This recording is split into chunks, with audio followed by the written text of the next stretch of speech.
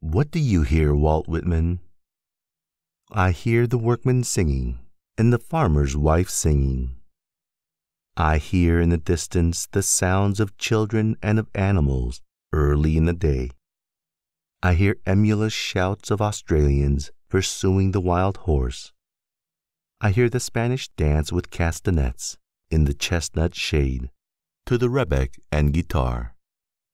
I hear continual echoes from the Thames.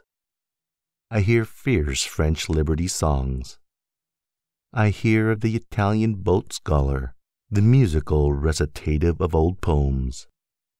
I hear the locusts in Syria as they strike the grain and grass with the showers of their terrible clouds. I hear the Coptic refrain toward sundown, pensively falling on the breast of the black, venerable, vast mother, the Nile. I hear the chirp of the Mexican muleteer and the bells of the mule. I hear the Arab muezzin calling from the top of the mosque. I hear the Christian priests at the altars of their churches. I hear the responsive bass and soprano. I hear the cry of the Cossack and the sailor's voice putting to sea at a Okhotsk.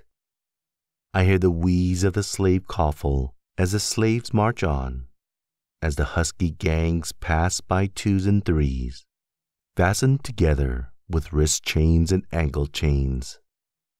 I hear the Hebrew reading his records and psalms. I hear the rhythmic myths of the Greeks and the strong legends of the Romans.